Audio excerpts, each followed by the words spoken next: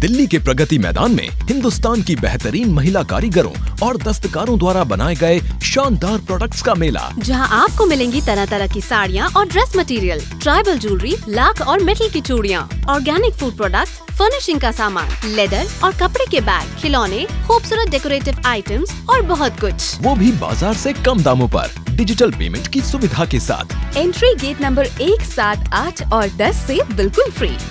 तो ज़रूर आइए आजीविका मेला, Pragati Maidan fully air condition hall number 18 14 से 23 अप्रैल, सुबह 10 से रात 8 बजे तक, आजीविका मेला